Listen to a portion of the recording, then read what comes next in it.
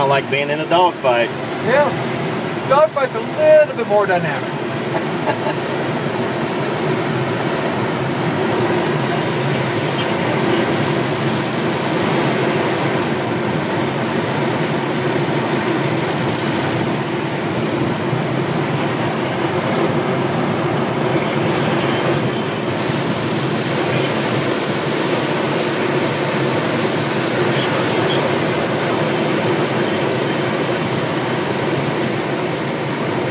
that other guy right up there.